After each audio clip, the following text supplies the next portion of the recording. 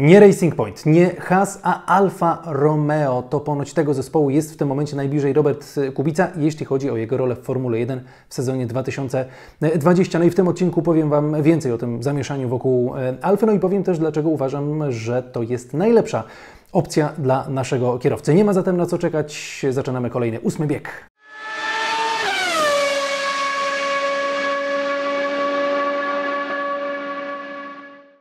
Nie dali nam e, spokoju w Wigilii dziennikarze portalu Race Fans, którzy napisali właśnie o Alfie Romeo w kontekście Roberta Kubicy i nie odnosiłbym się do tego artykułu, gdyby nie to, że został napisany przez e, dziennikarzy, którzy raczej słów na wiatr nie rzucają i po prostu warto parę słów e, na ten temat powiedzieć. Nagrywam ten odcinek w świątecznym czasie, stąd też świąteczny jak na ten kanał ubiór. O co chodzi? Chodzi o to, że Robert Kubica ponoć jest przemierzany do roli kierowcy rozwojowego w zespole Alfa Romeo. Takie informacje pojawiały się gdzieś nieoficjalnie w, w tych ostatnich miesiącach. Gdzieś ta Alfa cały czas z tyłu była, ale jednak na pierwszym planie mieliśmy Racing Point i e, Hasa. Ale teraz to ponoć e, właśnie Alfa jest najbliżej współpracy z Robertem. No i w całej tej układance jest też firma Orlen, która w Formule 1 pozostać chce.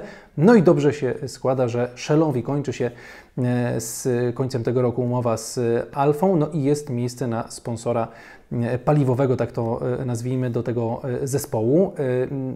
To nie oznacza, że Orlen, gdyby wszedł w gdyby doszło do współpracy z Alfą, Orlen nie dostarczałby paliw do Alfy, no bo silniki Ferrari, którymi zasilane są samochody Alfy, one korzystają z paliwa E, e, Shella. Więc e, mówimy tutaj tylko o sponsoringu, a nie o takiej współpracy technologicznej. No i teraz dziennikarze piszą o tym, że Robert Kubica miałby być kierowcą rozwojowym i skupić się głównie na rozwoju nowego symulatora.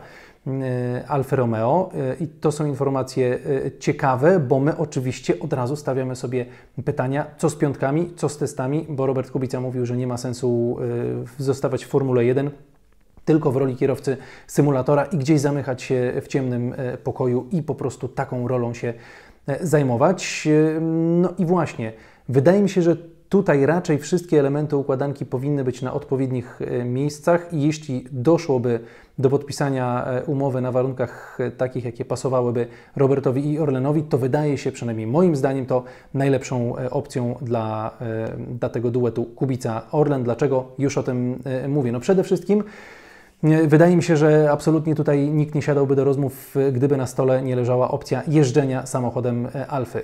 W testach Oczywiście to wydaje się mm, nieuniknione i zresztą tak też podpowiada e, rozsądek, bo trzeba sobie porównać to, co mamy na torze i to, co mamy w symulatorze, szczególnie w symulatorze, mm, który sporo elementów nowych e, ma i Alfa tak naprawdę dopiero rozpoczyna pracę nad tym sprzętem i tutaj doświadczenie Roberta bardzo, ale to bardzo by im się przydało. Mamy w Alfie Antonio Giovinazziego i mamy Kimiego Raikkonena, szczególnie ten drugi absolutnie nie miałby żadnych problemów, żeby czas w trakcie testów, na przykład przedsezonowych, oddać Robertowi. Boki mi wielkim fanem y, jeżdżenia w testach y, nie jest.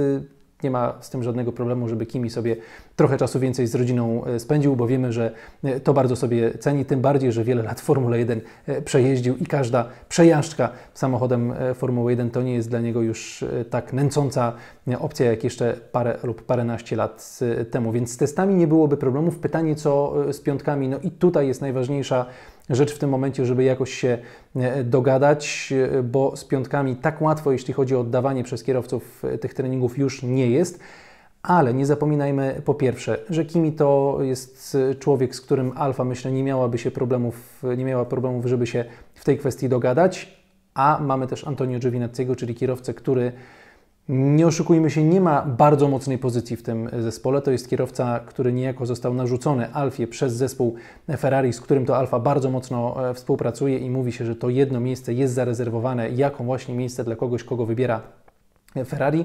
No i gdyby trzeba było Antonio powiedzieć, że parę piątków trzeba Robertowi oddać, to Antonio by się na to zgodził, choć oczywiście troszkę pewnie by ponarzekał, bo każdy kierowca jednak przed danym weekendem chce sobie na tym torze pojeździć, szczególnie jeśli ma tak małe doświadczenie jak Antonio Giovinazzi, więc wydaje mi się, że w kwestii jeżdżenia jest y, szansa na to, żeby wszystko bardzo fajnie sobie poskładać. Dlaczego jeszcze Alfa pasuje Robertowi? No bo wkracza w środowisko, które jest mu znane. Alfa to przecież Zauber, a Zauber to przecież zespół, w którym Robert już w przeszłości jeździł. No i bardzo często widać w padoku Roberta, który z ludźmi z Zaubera, z Alfy sobie rozmawia, e, bo przez lata e, wiele osób e, zostało po prostu w tej ekipie i zawsze to są serdeczne i, i, takie po prostu kumpelskie rozmowy, więc to jest ekipa, w której na pewno Polak czułby się znakomicie. No i mamy gdzieś ten cały czas ten taki włoski sznyt. Mamy Antonio, z którym Robert świetnie się dogaduje, z Kimim zresztą, zresztą też, więc, więc to byłby fajny układ. Dla zespołu to w ogóle byłaby kapitalna opcja, bo mieć e, Kimiego i Roberta, e, którzy mogą e, tę cenną wiedzę przekazać, to jest opcja znakomita. Zerkam, abym o niczym nie, mm, nie zapomniał. Ktoś powie, że co z przyszłością? Ktoś zapyta, co z przyszłością, bo jeśli chodzi o Roberta i o temat kierowcy rozwojowego, kierowcy symulatora, kierowcy rezerwowego, trzeciego kierowcy w sezonie 2020, to cały czas z tyłu głowy gdzieś tam pojawiają się pytania, no dobrze, ale co z sezonem 2021? Ja nie lubię tak bardzo e, wybiegać w przyszłość, e, ale e, czasami trzeba. Mm, no i Tutaj, jeśli chodzi o sezon 2021, jeśli wpychalibyśmy gdzieś Roberta do jakiegoś e, zespołu e, z myślą właśnie o przyszłości w roli kierowcy już wyścigowego, a nie testowego, to Alfa nie wydaje się wcale złą e, opcją, jeśli mamy sobie tak troszkę z tej szklanej kuli powróżyć, no bo przecież mamy Kimiego Raikkonena, który miał dwuletni, który ma dwuletni kontrakt i teoretycznie po sezonie 2020 Moim zdaniem on żegnać się będzie z Formułą 1, e, bo e, no nie widzę Kimiego jeżdżącego w, w takim wieku, jeszcze szukającego sobie jakichś wyzwań, bo e, to, co miał przeżyć w Alfie, przeżyje przez te dwa sezony i nie sądzę, żeby w nim jeszcze była energia na kolejne lata, kolejny rok, a może lata w F1. Bardzo bym się zdziwił, gdyby Kimi w Formule 1 został a drugi kierowca tego zespołu, Antonio Giovinazzi, jak go bardzo lubię i jak uważam, że drugą końcówkę, drugą połowę sezonu 2020, czyli końcówkę sezonu 2019, czyli e, końcówkę tego roku miał dobrą, to wciąż jest to kierowca, który gdzieś balansuje na tej e, linie i jeśli z niej spadnie, to po prostu z Formuły 1 e, wyleci. No i mamy tutaj opcję na to, aby do jakichś roszad w Alfie doszło na sezon 2021. Pojawił się, pojawił się artykuł w e, La Gazzetta dello Sport, w którym Mattia Binotto został e, wywołany do e, tablicy, aby opowiedział o Antonio Giovinazzim w kontekście ewentualnej jazdy w przyszłości w Ferrari. Powiedział szef tego zespołu, że jeśli spojrzymy tylko na sezon 2019, no to nie do końca Antonio nas e, przekonał, ale to oczywiście jest kierowca perspektywiczny i nie wykluczamy, że e, jest tam gdzieś na naszym radarze. No ale to wydaje mi się opcja absolutnie niemożliwa, żeby Antonio gdzieś do Ferrari próbował się e, dostać, ani żeby Ferrari w jego stronę zerkało, choć na pewno i Alfa, i Ferrari zerkają w stronę młodego Schumachera, który to ten pierwszy sezon w Formule 2 miał raczej kiepski. No i pytanie, jak będzie ta jego jazda wyglądała w sezonie 2020. Jeśli będzie nawet przyzwoita, to moim zdaniem on do Formuły 1 e, zostanie, e, zostanie zaproszony, bo Amerykanie chcą mieć Schumachera w Formule 1. Włosi też e, myślę, że chcieliby, aby w jakiejś roli Mick się w Alfie pojawił, bo to po prostu jest kapitalna sprawa dla tego zespołu w kontekście całego PR-u i marketingu. W kontekście wyników wciąż nie do końca wiemy, na co będzie stać e, Schumachera w Formule 2 w sezonie numer 2, bo ten sezon numer 1 zwykle bywa trudny. Choć, jak spojrzymy sobie choćby na George'a e, Russella, który sezon po sezonie wygrywał e, kolejne serie, no to pokazuje to, że jednak skala talentu czasami pozwala poza te ramy wyskoczyć, a Mick na razie nie wszystkich swoją dyspozycją przekonał. Mnie również jeszcze nie przekonał na tyle, żebym stwierdził, że on już zasługuje na to, aby w Formule 1 jeździć. Zresztą on sam mówi, że jeszcze nie jest gotowy. No i pytanie, kiedy rzeczywiście będzie e, gotowy i jak bardzo będzie potrzeba, aby go do tej Formuły 1 e, po prostu siłą gdzieś tam e, ulokować. Więc wydaje mi się, że w kwestii, podsumowując miejsc na 2021, Alfa wygląda naprawdę całkiem e, dobrze, ale to oczywiście wróżenie z fusów i e, do tego nie przywiązujcie jakiejś e, dużej roli. Mamy też oczywiście w Alfie pana Alessandro Aluni Bravi, czyli to jest No właśnie, pytanie, czy były, czy obecny menedżer Roberta, to jest człowiek, który współpracował, współpracował z Robertem bardzo mocno na przestrzeni lat i to także w tym sezonie, w którym Robert prawie już znalazł się w Williamsie, ale ostatecznie Sirgieja Sirotkina wybrano. Teraz Robert mówi, że teoretycznie on sam sobie te e, menedżerskie sprawy e, załatwia, ale gdzieś tam Alessandro na jego orbicie e, krąży. No i to jest człowiek, który biznesowo, już tak bardzo ogólnie mówiąc, jest powiązany z Alfą Romeo, więc, więc to też taki ślad pewien jest w tej całej historii. No i czy to jest opcja rzeczywiście lepsza od Hasa i od Racing Point?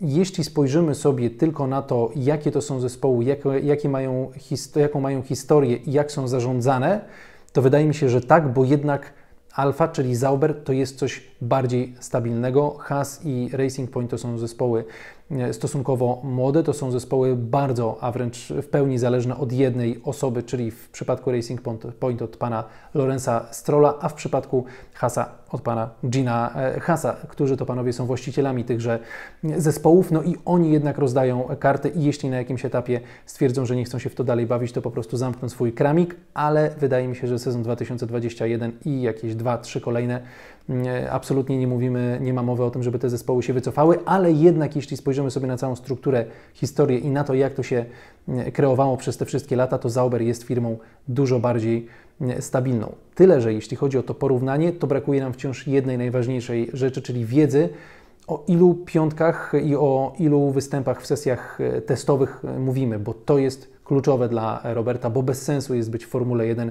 w roli kierowcy zamkniętego gdzieś w piwnicy i kręcącego kółka na e, symulatorze, bo e, Robert chce się ścigać, no i wygląda na to, że będzie ścigać się w serii e, DTM, ale w Formule 1 parę wyzwań też się przyda, a nie tylko kręcenie kółek w symulatorze. Mm, ale wciąż wydaje mi się, że Alfa w porównaniu do Hasa i Racing Point to jest opcja lepsza, stabilniejsza i też chyba dla e, Roberta, jeśli spojrzymy sobie na jego e, historię, e, opcja po prostu bardziej, jakby to powiedzieć, może przyjemna, bo mamy ten włoski sznyt, no i mamy połączenie nie może jakieś gigantyczne, ale jednak większe niż w przypadku Hasa z Ferrari, czy w przypadku Racing Point z Mercedesem, czyli gdzieś tam ten kontakt z Ferrari w kontekście może jakichś jazd w, w testach w kolejnym na przykład sezonie lub po prostu, jeśli mówimy o spełnieniu tego marzenia Roberta, e, czyli o założeniu czerwonego kombinezonu, to to cały czas pozostaje e, na, na orbicie Roberta i, i to też wydaje mi się, że jest rzecz, o której nie możemy zapominać w, w, kontekście, w kontekście e, Alfy. Jeśli mamy szukać jakichś problemów, to problemem może być kwestia dogadania się rzeczywiście Orlenu z, z Alfą i cały ten biznesowy układ z Shell, Orlen i Alfa to nie są proste sprawy i myślę, że dlatego też przede wszystkim tak długo e, czekamy. To mówiłem w którymś z poprzednich e, odcinków, że jednak ta kwestia biznesowa to nie jest prosta rzecz i to wszystko trzeba sobie jakoś rozsądnie poukładać i, i dlatego po prostu to wszystko tyle e, trwa, że za chwilę będzie nowy rok, a my wciąż jeszcze przyszłości Roberta nie znamy i to zarówno jeśli chodzi o ściganie i e, jak i występy w Formule 1, ale ściganie wydaje mi się, że e, DTM to jest rzecz już niemal pewna. Będę bardzo zdziwiony, jeśli do tego, e, jeśli Roberta w DTM nie zobaczymy. Mm, no i to tyle e, ode mnie. Dajcie znać Wy, co sądzicie na temat Alfy i ewentualnych występów Roberta w tym e, zespole. Jeśli chodzi o e, mój kanał i najbliższe dwa tygodnie, a w zasadzie mm, na ten okres do połowy stycznia, to będzie tutaj troszkę ciszej. Wydaje mi się, że jeden film jeszcze zobaczycie, ale nie będzie to film, który będzie odnosił się do wydarzeń bieżących, tylko mm, film traktujący o nieco innych rzeczach niż zwykle e, tutaj są przedstawiane, bo po prostu jadę troszkę naładować e, baterię i nie będę w stanie zareagować na ewentualne jakieś duże e, wydarzenia, więc nie gniewajcie się, ale cierpliwie poczekajcie, aż z tego krótkiego urlopu wrócę, a nawet nie krótkiego i widzimy się w połowie stycznia ponownie, jeśli chodzi o te bieżące sprawy, ale jeden film w międzyczasie myślę, że też na tym kanale się znajdzie. A tymczasem możecie sprawdzić sobie poprzednie filmy, a jeśli chodzi o ten odcinek, to już wszystko. Dzięki, że byliście ze mną i do zobaczenia, do usłyszenia już wkrótce.